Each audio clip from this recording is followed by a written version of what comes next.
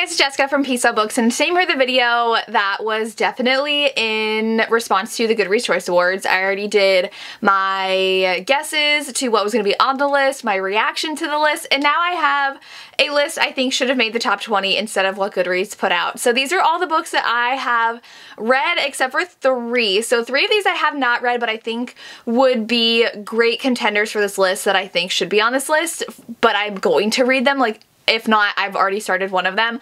But I am going to be chatting about these books because I think they encompass the best books of the year that published in 2020 or are ones that really broke through the romance genre and like blew up that I also really enjoyed. So not every single one is something that I think is super, super, super, super popular.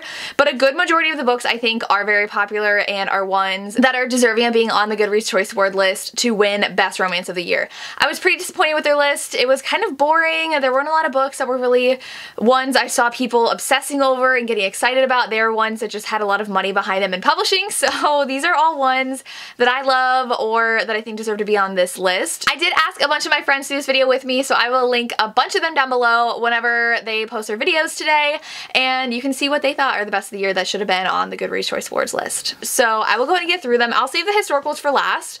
I know that historical romances aren't that popular of a genre, but I have, I think, four on here that I think should have definitely been on this list, but they were not anywhere on the Goodreads Choice Awards. But I will save the historicals for last, like I said, and I'll go ahead and get to the romances that should have made this list. I think I kept like four or five from the original list out of 20. So the first one I have is one that recently released, and I think it is this author's best work yet, and that is What Was Meant to Be by QB Tyler. How this book just made me so addicted to the story. It is so good and I think it was QB's best performing book numbers wise with where it went on the Amazon charts. She got I think up to number 12 in the Amazon store on release day which is very very exciting for her. This one is a story about a girl who had gotten together with her dad's and mom's best friend like they were all three best friends in college and she got together with him when she turned 18. They had a two year relationship. He broke up with her, completely broke her heart, left for three years. Here's that she she's engaged and comes back to win her back. And so it's very, very spicy. QB Tyler's probably spiciest book yet. Very taboo and forbidden. So angsty because she is engaged, but she's like, he's the love of my life. And she's mad at him for leaving her and breaking her heart, but he's the love of her life. So it was so good and definitely one that I think should have been on this list for best of the year because best of the year. I uh, do not have a lot of traditionally published romances when it comes to the contemporary romances on this list, but this one came out the day the Choice Awards came out, so it was a contender to be picked based on their timeline restrictions, and it was not on there, and I was flabbergasted that this book was not on this list. Before I Let Go by Kennedy Ryan, I read this a couple days before it released, and this one is just so emotional and raw and heart-wrenching, and I loved it so much. This one is a second chance romance between a married couple and it does delve really deeply into their relationship and what broke it apart. It does have to do with loss of a child so definitely know that before you pick this up but this one it's just Kennedy Ryan knows how to write deeply emotional romances with flawed characters who have to really examine their relationship, what's not making it work, what can make it work. I think every one of her romances does that and I'm completely pulled into her stories and this one's no different and I loved though how they had a relationship relationship previously and they just did not know how to work together to cope with a loss. And so the heroine especially was going through a really hard time. She was diagnosed with depression. She was seeing a therapist and she's like, I feel suffocated in this relationship and I can't survive everything going on. So she asks for a divorce and we see the repercussion of their kids, how her daughter blames her for the divorce and how her husband or ex-husband is now moving on and she has to see him date and that's really the catalyst of wait a second, I kind of still love you. And so it was just amazing, so emotional. I love this book so much and easily a favorite of the year and it should have been on this list. Hands down should have been. Okay, so the next one is by an author that for sure has blown up in the romance community this year and I am obsessed with her. The next two are actually. And so these authors have uh, published a couple books at least that could be on this list and so I'm gonna pick my favorites. So the first one's Elsie Silver. Elsie Silver has just taken everybody by storm with her cowboy romances. I loved Flawless, but Heartless has taken the number one spot for me because this was the best small town single dad grumpy sunshine nanny romance age gap like every single trope I'm obsessed with this book has it and the banter between the characters, the banter between the characters and the family. I love the family aspect in here. Cade's family's awesome. His brother got book one and he gets book two and is the best friend of the heroine of book one and she ends up being his nanny to his son and his son's amazing and I just love this book so much. Like everything about this book. Cade is really dedicated to running his farm but he also really wants to compete like his brother does, not at the level his brother does, but he does want to compete and so the heroine pushes him to. But she also doesn't let him be the grump that he is around everybody else. She's like, you're gonna be nice to me and you're not gonna be rude and thoughtless about other people's feelings. And so it's really sweet, but it's also very spicy as well. So much tension and chemistry between them. Like, this book absolute favorite of the year. Like, hands down. The next author that I was shocked was not on the Goodreads Choice Awards list, but I think it's because she is not yet truly published because her books are coming out soon with Bloom, I believe, and that is Sara Cate. I'm choosing Praise. I've only read Praise and Give Me More, and Praise is still my favorite. It is the Salacious Players Club. She has just taken again the romance community by storm with her releases this year. She is just blown up as an author and I love it so much for her and this one is a age gap romance, boyfriend's dad romance and he owns a pleasure club and the heroine doesn't really know a lot about that. She's going to him for money her his son owes her and he thinks she's his new secretary. So things get a little you know. And then they realize what happens and she ends up being hired to work for him in a non-club way, but she gets intrigued. I loved Emerson so much, like this was amazing. I love how it deals with having a safe space to explore things you're interested in and so much communication and consent and I just loved it so much. So Praise is my favorite. I do need to read the other two, but Sara Cate for sure should have been on this list, hands down. Okay, so I feel like there's a couple authors where I'm like, they had so many releases that were amazing that should have made this list, but, and I'm like, do I go with the fan favorite or my favorite? Because I'm thinking of Devney Perry. She should have had a book on this list. Devney Perry is so popular this year. She's been popular for a while, but I feel like she's really blown up this year. And these two books especially, I think people love Juniper Hill better. I saw more negative reviews for this book, but this one's my favorite because of the angst. And I feel like there weren't a lot of angsty books on the Goodreads Choice Awards this year, and that's one of my favorite things to read in romances. But I do think Devney Perry should made it. These are small town romances. This one, though, is a single parent romance, Grump Sunshine, kind of workplace because she gets a job at the hotel he's a chef at, but she has a literal baby and it's so good. I love this one, but this one is a second chance. The hero completely broke her heart by marrying her best friend, and now it's years later, he's back in town to win her back, and he is a like UFC fighter. so good, but the series in general, one of these should have made the list. Like, how was she not on this list? I don't know. I love her. They should have been there. Another one that I feel like uh, blew up everywhere. And I feel like this author is pretty popular, but this book especially I've seen a ton of people reading is The Words by Ashley Jade. I read this because my friends loved it, specifically Tori from Novel Life really spurred me to read this one because she loved it. I'm betting you it's on her list as well, but this one's a second chance, which has easily become one of my favorite tropes this year. Second chance, enemies kind of to lovers now, and rockstar romance. So they fell in love in high school. He broke her heart. She detests him now. He has gone down a really bad path He's a famous rock star, but he's really into sex, drugs, alcohol. He lost someone very close to him, and so he's just spiraling. And so they keep on hiring sober companions for him, but none of them last. So they're like, we need someone who hates him, who will keep him aligned and not let him toy with them. And so someone they grew up with is in the band too, and he's like, I know the perfect person. And so they hire her, she needs the money, and they end up falling in love anyways. And it's just amazing. It's long, it's so long, but you do not realize how long it is. I flew through this book, so emotional, good. Oh my gosh, and I wish I read it before meeting her because I did get to see her at Book Bonanza and I hadn't read it yet. And now I'm like, I want to just like tell her how amazing this book is. And I'm so excited because she is writing a duet for side characters in here. It's going to be amazing, but definitely a top read of the year. Okay, so this one I don't know, I don't know if a lot of people would agree, but I love this book so much and more people need to read it. And that is The Devil of Dublin by B.B. Easton.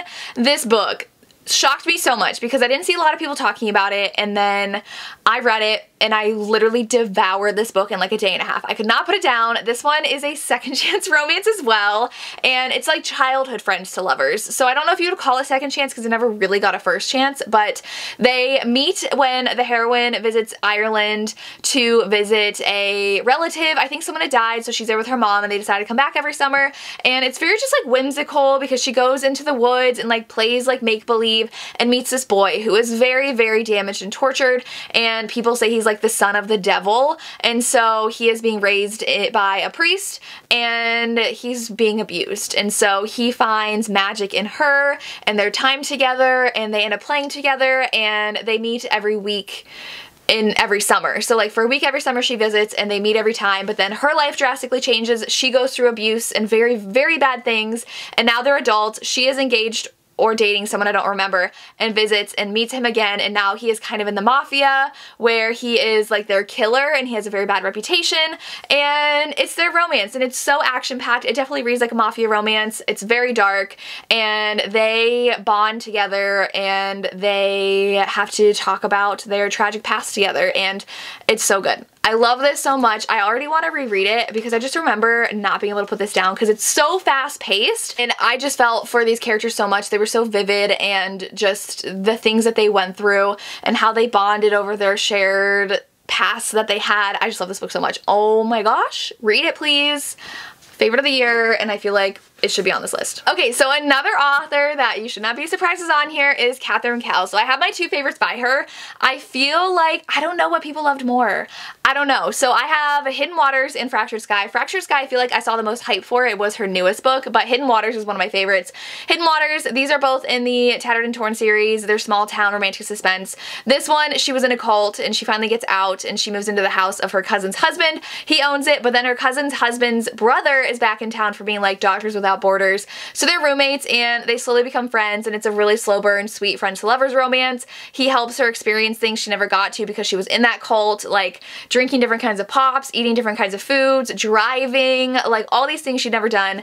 He does it with her and it's so cute. And then of course someone's trying to kill her, but you know. Then we have Fractured Sky. Again, someone is trying to go after our heroine, but she was kidnapped as a child and has had a really hard time letting people in since then, especially her family. And so she decides to move out though because she's feeling very smothered by them. And our hero, he works at a horse rehabilitation farm where he rehabilitates like really damaged horses and animals and she has just like a way with animals. They just understand each other and so she likes to watch him work and they have this silent agreement that she will come around and then he starts talking to her and says why don't you move into the house on my ranch on my farm and work for me and you'll be able to get out from your very just smothering situation with your family. So she does, and it's a very slow burn romance as well, but it's so good. The heroes in these are just the sweetest. They develop very slowly, but they really learn to trust each other and open up to each other and earn each other's trust. That's really what these romances are about. And of course, we have some suspense to keep you on the edge of your seat, but I love these books.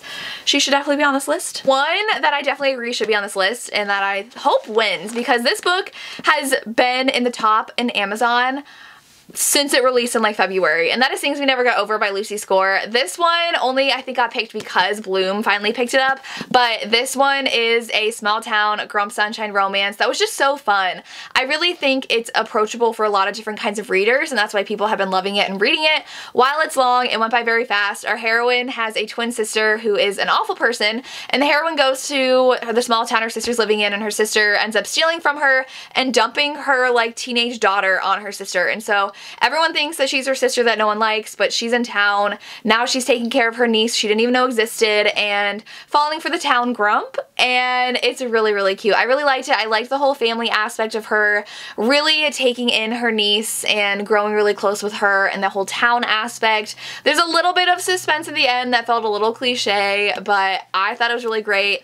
And I definitely see the appeal to the wider audience and think that this is definitely deserving of the list. So then I have Everything For You by Chloe Liese. So this one is an MM soccer romance and it is a, like, they're teammates and an age gap and the one hero that's older that's a captain, he has chronic pain because he has been a professional athlete for over a decade and he is just like broken down. The other hero is actually his neighbor and he's definitely like the sunshine. It's definitely Grump Sunshine and he has siblings who have some different disabilities and so he has a lot of accessibility in his house and it's super cute. Like he helped him shower once and was like, here, I know you're in a lot of pain. Like I have things to help you. And it was so sweet how he was there for him.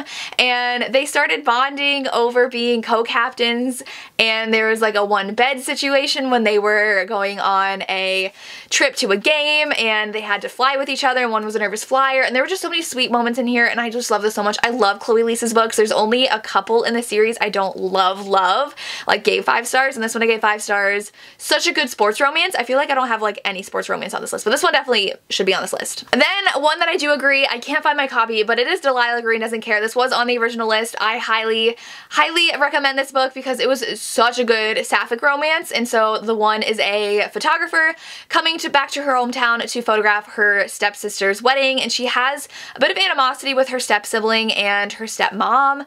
And she doesn't like feel like she ever fit in in the town.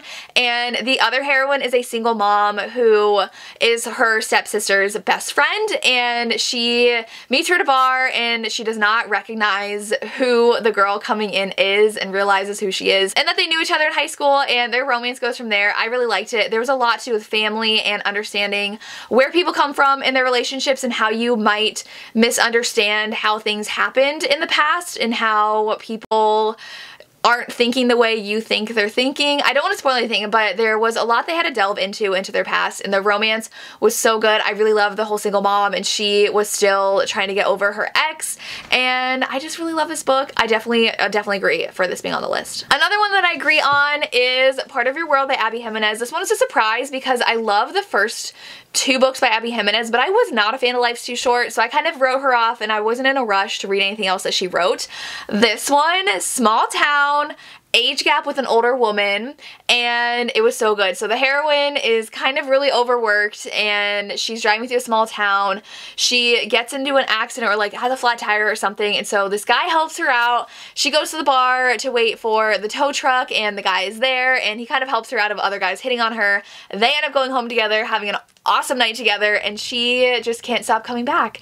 And he though is everything she doesn't need. So she is in the process of a breakup and it's like feels like a divorce but it's not but it's a breakup and he is like everything her parents want for her because she's a doctor, he's a doctor and super super successful. This guy is not rich. He works at a bed and breakfast and makes furniture on the side and he's just a pretty simple small town guy and she is falling in love with him.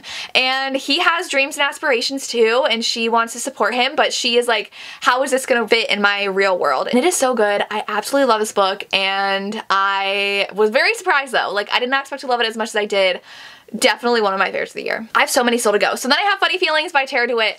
This one is such a surprise because I have not read this author before, but it is single dad, age gap. He is her manager. She is a comedian. They have to fake date. It was so sweet and I'm just obsessed with like sweet cozy romances lately and I love Friends to Lovers. They were friends for a very long time and we get flashbacks to when they both were kind of thinking of moving into something more, but then something stopped them from doing that and it was just so good.